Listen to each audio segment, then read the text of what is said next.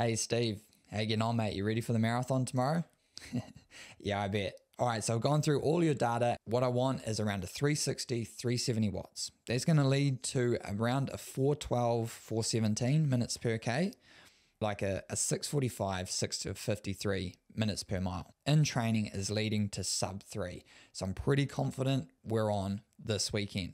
All the best, mate. Let me know how you get on.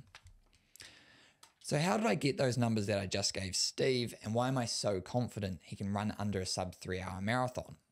And how did those numbers that I gave him correlate to his actual marathon performance? Doing what I'm about to show you is going to have you avoiding that dreaded post race Strava caption, not my day to day using a real life, evidence backed approach to predicting your goal marathon time and subsequent pacing strategy. I'm even going to share some of my data to show you how this system highlights where I've clearly gone wrong in my own marathon build up. For this system to work, you want to have done at least 10k or 6 miles worth of marathon paced effort within a long run, ideally 2 hours or more, but 90 minutes would be the absolute minimum.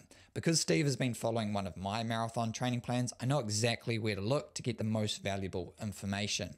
And this is why I tell you guys you always should be writing out your training plan because it makes looking back on those workouts so much easier when you know exactly when and where to look. It's also why I've been using Training Peaks literally since 2010. It allows me to go back and have a look and go as shallow or as deep as I want to into the data from my past training. I will be running through my system inside Training Peaks, but that's not to say you can't apply it to a Garmin Connect, a Coros Training Hub, Stryd Power Center, or even Strava. It's just going to be a little harder to highlight the exact data points that we're trying to find.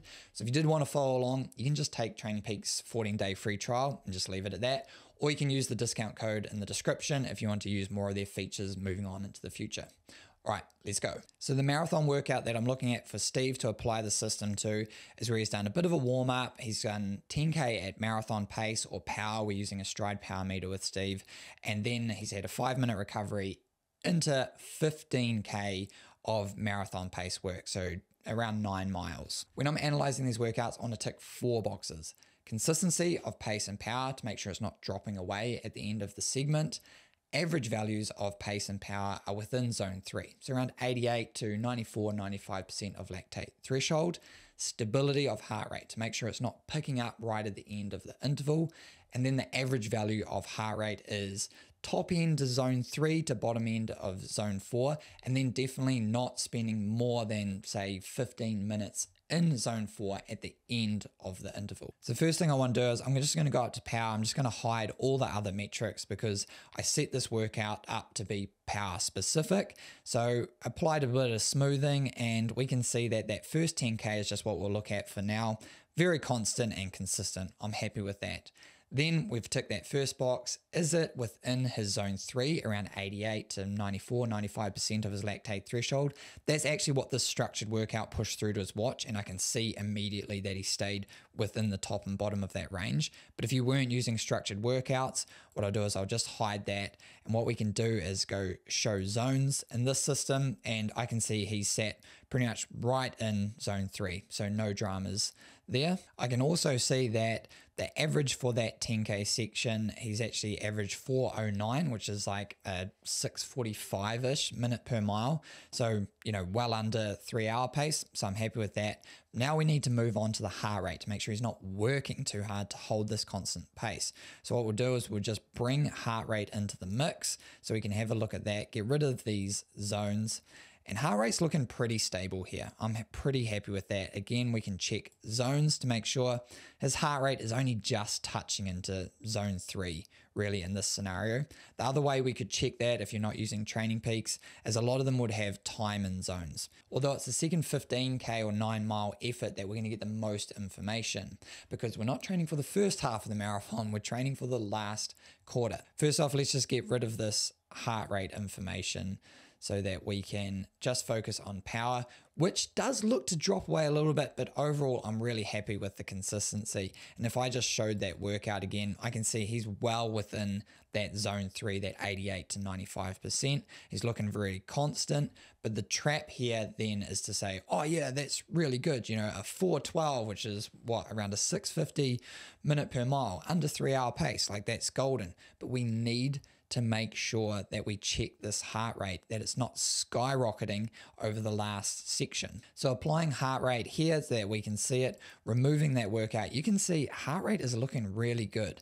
If we apply the zones so we can have a look, we've got zone one here, zone two, zone three, only just, only just right at that last moment is Steve kicking up into zone four, which after around two hours, 30 Ks almost of work, like 20, just under uh, around 18 miles of work, that's totally fine. No aid station, so he's going to be a little more dehydrated than he otherwise would be in a race. That's looking amazing. And so, based off of that, I can get these average values. We have 373 watts and we have a 412 minutes per K. So that would be around a 650 minute per mile. But I'm a scientist, and you should never rely on just one data point to draw a conclusion.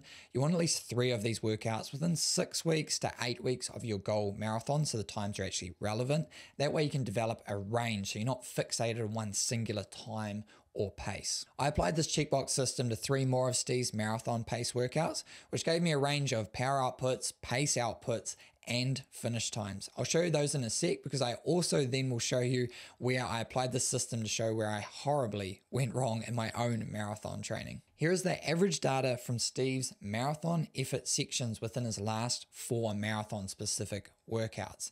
And each one of those ticked those four boxes and told me the same story that Steve should be good for 365 to 375 watts, which on a flat course would equate to around a 410 to 415 minutes per K, so 645 to a 653 minute per mile, and that should give him around a 257 to a 259 finish time. But what about when things don't tick those four boxes? What do you do then? Well, I'll show you some of my data and then I'll show you how Steve got on in his marathon. Here's a three times 10K workout that I did before my last marathon.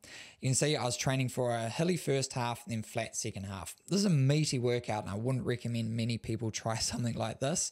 But remember, we're training for the last quarter, not the first half. So let's just look at my last 10K block to see if I was able to check off those four boxes.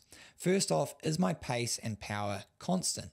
Yes, it looks really good. So let's just double check on heart rate to see if I'm actually in a metabolic steady state. So if we show heart rate zones, you might not be able to see this, but I'm immediately in zone four after a couple of minutes of that.